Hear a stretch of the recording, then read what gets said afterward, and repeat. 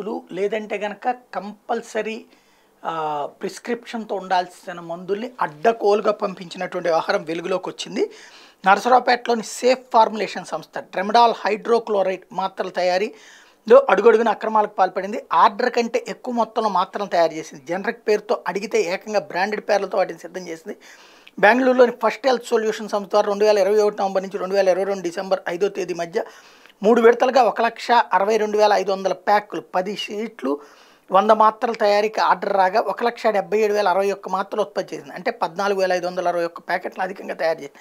Generic పేరుతో కావాలని బెంగళూరు సంస్థ కోరితే సుమారు లక్ష ప్యాకెట్లు బ్రాండెడ్ పేరుతో సిద్ధం చేశాయి బెంగళూరు చెందిన Iris health global wellness private limited సంస్థకి యాభై నాలుగు వేల ఏడు వందల యాభై ప్యాకెట్ల రెమ్డాల్ రెండు వందల ఇరవై ఐదు ఎంజీ మాత్రలు తయారు చేసింది. ఐరిస్ సంస్థ ఎగుమతి కోసం అనుమతులు పొందినప్పటికీ మాత్రలు తయారీ చేపట్టడం గమనార్హం. ట్రెమడాల్ మాత్రలను కేంద్ర ప్రభుత్వం రెండు వేల పద్దెనిమిదిలో మాదక ద్రవ్యాల నిరోధక చట్టం పరిధిలోకి తెచ్చింది.